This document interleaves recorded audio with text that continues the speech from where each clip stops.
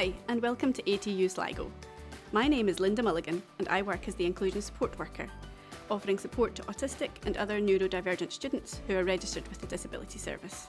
We understand that autistic and neurodivergent students experience unique challenges at university, while also possessing their own unique strengths and talents.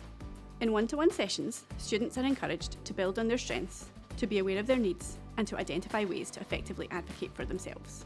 Students are supported to develop key skills in areas such as self advocacy, organisation, and time management.